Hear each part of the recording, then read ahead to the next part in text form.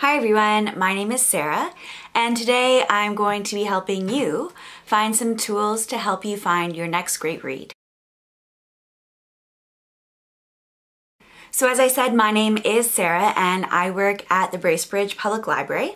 Today we're going to be looking at Novelist, which is an e-resource that you can access for free with your library card. And we'll also be looking at a few websites that are really helpful to use when you're trying to find what you're going to be reading next. To access Novelist, we have to go to the Bracebridge Public Library website, and then we want to go to Library 24 7 and down to Online Resources.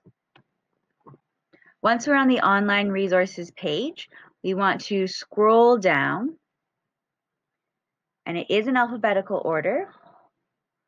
We want to go down until we find Novelist. And today we're going to be looking at Novelist Plus. It will ask us for your library card number, and you want to put in your whole library card number with no spaces. Okay, so once Novelist has loaded, we can search for different things. So at the top, you can see you can search by a keyword. You also have advanced searches and you can look at your search history. Along the side here, we have different genres and lists for fiction, nonfiction. You can also look by different ages. So if you're looking for books for teens or children of different ages, you can go there. But let's go ahead and look for a book. Now, if there is a book that you have enjoyed before and you want to find a book like it, this is a great place to do that. Or if you have a genre that you really like, so if you like reading thrillers, mysteries, comfy mysteries, then you can search for that here as well. Um, but let's go ahead and look for a book to find ones that are going to be similar to that book. And let's look at Harry Potter.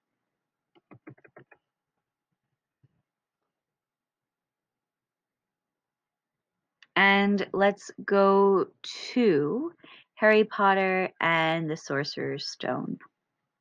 And we'll search. So you'll see what comes up is the book and the author, the series, um, it gives the Lexile rating and some other information about it as well. And then down here, there's some handy tools.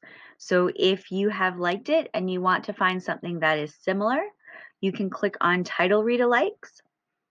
You can also find books that are similar to the author and books that are similar to this series. So let's go to series read alikes.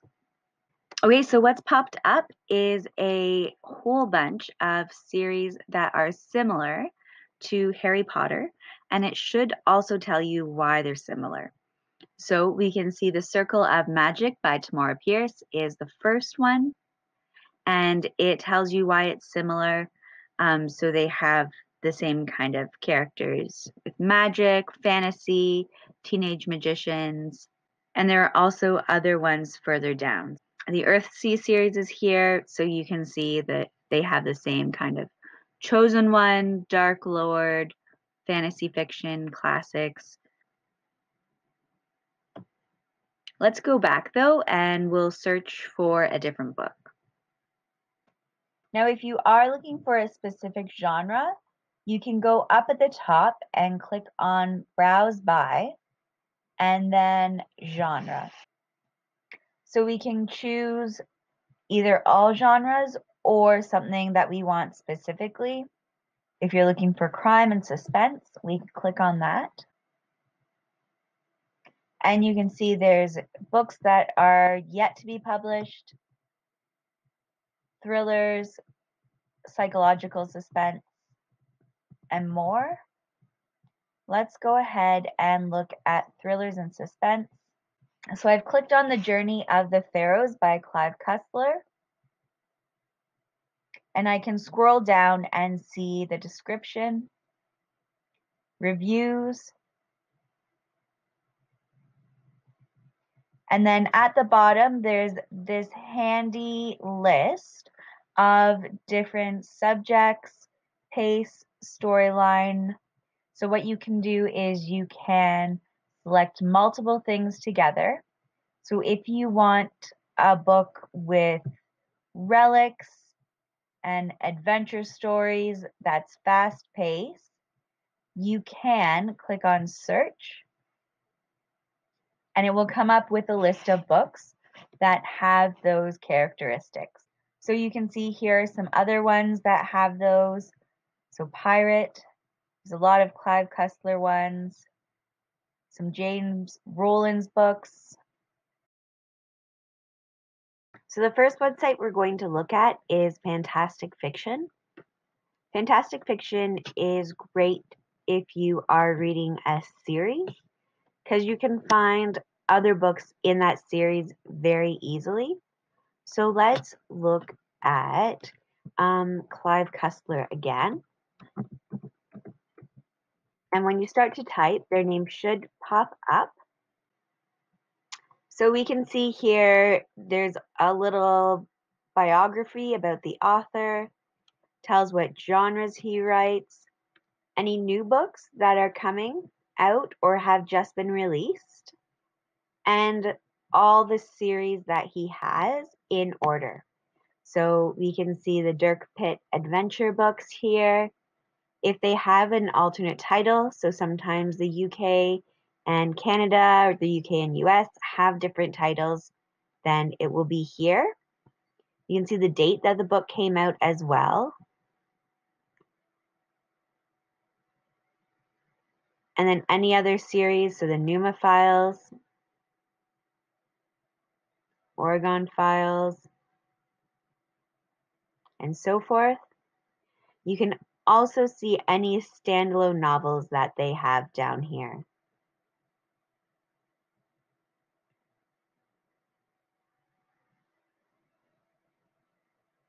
And we can see books that Clive Cussler has recommended. And then down at the bottom of the page, we also have this section that looks at other authors that people have visited as well. So you can get an idea about maybe what other authors you'd like.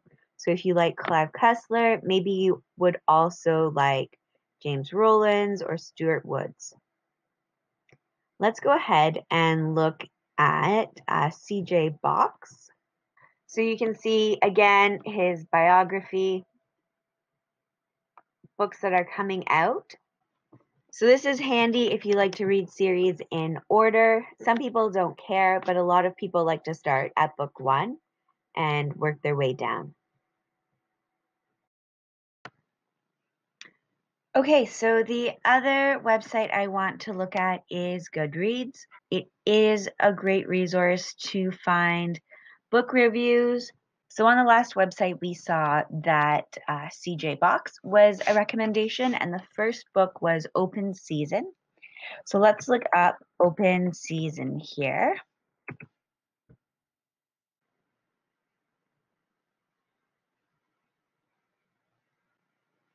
So you can see that Open Season has a star rating of 3.94.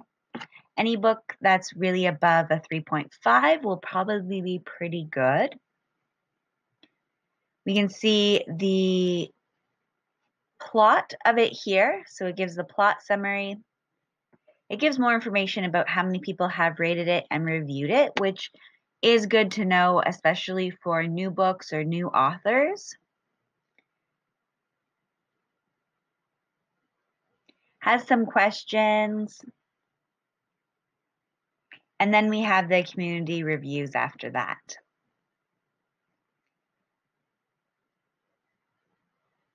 Community reviews are really good to see what people have thought about it. You can see how many stars it has gotten, what the average is, what people are saying if they don't like it. Sometimes people are given books that they don't usually read as a prize or a giveaway. So you'll find that maybe it's a fantasy book, but they never read fantasy. They don't like fantasy, so they might rate it low. That doesn't necessarily mean that it's a bad book, just that they don't like the genre. Now you can also go to browse up at the top here and look for recommendations. So if you are looking for, let's look at thrillers again, we can go to thriller. And then it gives you books that have been tagged thriller. So again, this is community driven. Um, there isn't people behind it necessarily who are professionals at this. Um, there's not as many restraints on tagging things, um, but because you do have so many people in the community working at it, it is generally a really good measure about what the book is. Thank you so much for watching our video. Um, if you want to know more or if you're having some difficulty with some of the e-resources that we've talked about, please ask us anything in the comments below. You can also contact us on Facebook or Instagram and you can email the library. So we are checking our emails if you have any questions. Our next video is going to be an overview of the different e-resources that we have. So we'll be looking at some of the databases we have, some of the homework help for kids and teens, and also some of the other e-resources that we have for adults. So thanks again for watching and we'll see you next time.